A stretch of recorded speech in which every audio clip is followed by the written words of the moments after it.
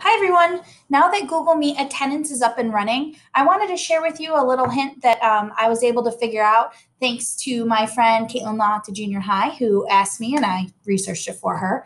Um, she wanted to know if there was a way to alphabetize the um, spreadsheets that you get by last name. And at first, I didn't think there was, but then I did some digging and I found out a way to do it. So when you receive your email, it's going to look something like this. And what you're going to do is you're going to click on the preview, brings up your preview, and you're going to open with Google Sheets. Now, when you do that, it's going to take a second. And you'll see that the attendance report comes up and it's alphabetized by, um, or it's not alphabetized at all. It's just up there, right? Who was in there first? It's, I think it's by time.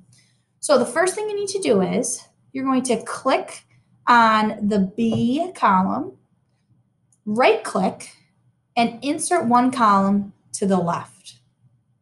Now I'm going to click on the A column. This is my name column.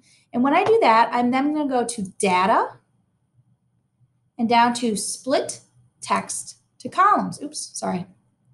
Right click. All right, ready?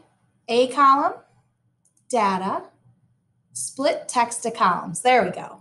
Now, once I do that, you'll see I have a separator comes up. You could say detect automatically, but I know that my separator for this is a space. So I'm going to click space.